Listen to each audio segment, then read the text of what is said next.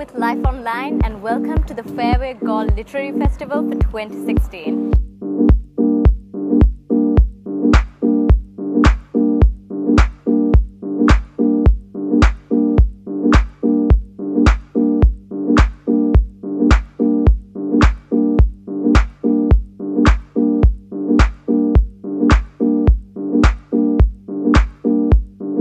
I'm Rita Pires, Festival Director of Fairway Galle Literary Festival 2016. The festival is going really well, the crowds are coming.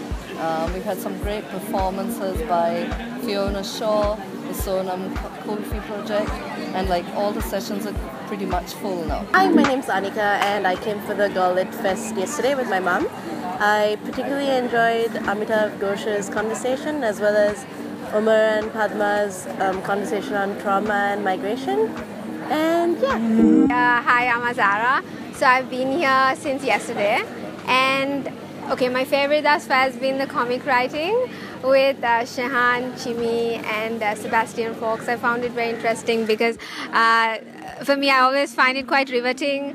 Uh, to get to know about the genre of comic writing because I think it's the hardest, and uh, yeah, it was it was very uh, insightful and also funny as expected, and um, I found a lot of uh, sessions quite interesting. I'm really glad that GLF is back, back actually because I think I missed just the first edition. I've been there uh, thereafter, and um, I think Top's Germaine Greer was like one of the best. I think she was here in 2011. Then I also liked Ramla's um, Ramla's one on uh, the, the the Ceylon Moors. It was quite insightful finding out the different routes and uh, I'm looking forward to quite a few while I'm, I'm looking forward to uh, Fiona Shaw and uh, yeah So I guess the favorite, my favorite session of this festival was the duet between Minoli Salgado and Nayomi Munaweera about their debut novels, which, um, yeah, I mean, I both read and it was really um, a great experience for me to see how these two writers discuss their work.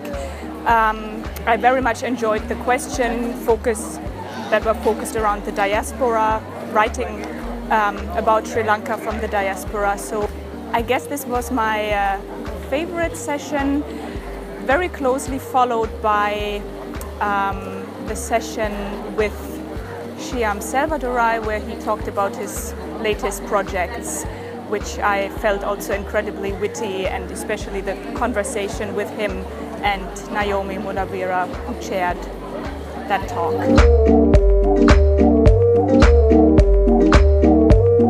Oh, it's great fun. Uh, there are lots of interesting people. Uh, it's got that old world charm. It's been a great time. I met some wonderful authors, uh, stimulated my mind, and uh, I keep hope they do it more and more often. I've been to Jaipur and I've been to other uh, festivals in Kale. Uh, I think this is this has a charm of its own, and it's uh, it's infinitely better in many ways.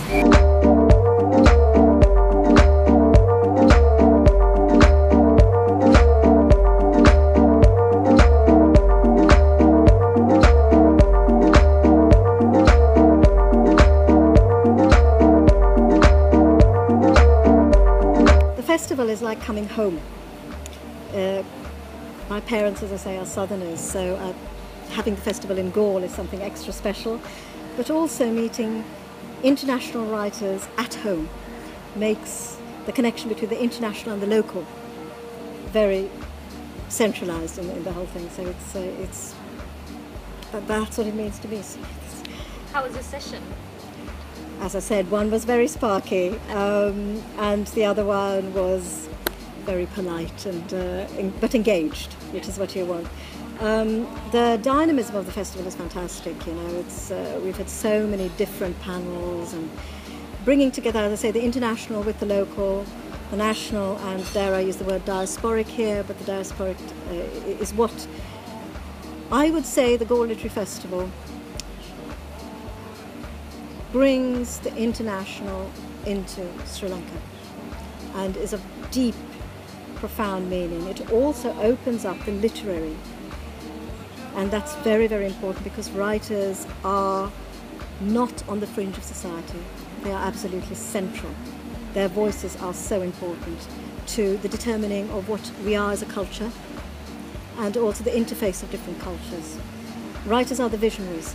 Absolutely wonderful. Such a, a broad range of authors. Um, uh, you know, I've, I've met so many interesting people here, both the authors and also the, people just coming to visit the, the, the, festival. It's just been a delight from beginning to, to end. This is your first Galle Literary Festival? Well, I, I, came to a small version of it, I think, three years ago, right. um, when there were, you know, it wasn't the huge sprawling epic that it is now. um, but so I, I, I, was familiar with, with Galle and with the, the idea of it. Right, and how were your sessions? Well, I've mainly been talking to children so far. Uh, and that has been enormously rewarding and completely shattering, uh, having having 35 year olds crawl over you. um, but it's been, it's been delightful.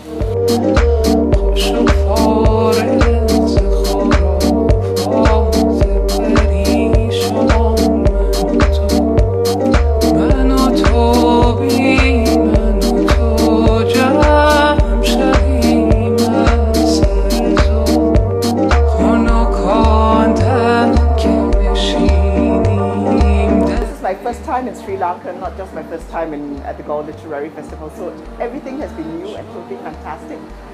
Like I was just telling someone, the big shock of the first day was finding out that Meera Syal is in the same hotel as I am. So, oh my God, we think that every time you walk out anywhere in Sri Lanka, you're going to see celebrities. Oh, and Amitav Ghosh is here. So all these people whose books you've seen and actually walking around in real life, which is amazing because they live in all over the world variously and suddenly everybody is here, this little town in Galle. Oh my God, that was the most exciting bit, I think. Um, my own panels, I can hardly think about because I was too busy trying to figure out who else's panels to attend. This is a gorgeous place. I don't want to sit indoors. I want to go and look at the city and the fort and everything, but you want to sit indoors because you don't want to miss anything. So actually the Galle Literary Festival is giving me a breakdown of decisions if you want to know. But it's been fantastic. I've actually learned a lot, not just from the sessions, but from the people I've met and talked to. I am overwhelmed with admiration for the organizers. I don't know how on earth they do it. I don't think they eat or sleep and they've got volunteers at every turn. You get lost for two minutes, somebody comes up and tells you, you know, this is where you should be. So overall, it's been a total wonderful experience. I thought I would come here and do writing in the evenings, but no, I've been going out and trying to see and talk and take in as much as I possibly can. I will never forget this. It's been really fantastic to be here and to be at the festival, and I think the thing that I've really appreciated is um, coming from the West, we don't have a lot of festivals where we have this um, presence of writers from South Asia and uh, writers of color. So it's just been tremendous to be around other South Asian writers from all over their country and all over the world and it just feels really really good to be among other writers. And also to engage with readers who have um, read the book or have very good questions and it's just been wonderful being here. All right. Um, it's been such a thrill to come to Galle to this literary festival um, who would not want to come from grey, damp, miserable London to a place as beautiful, as lustrous, as warm as Sri Lanka? Um, and to be given the welcome and the reception that I've had has just made this uh, a literary festival above all literary festivals. And I must also pay compliment to my accommodation, which is on the island of Taprobane, which is about as magical a place as one could possibly want to stay.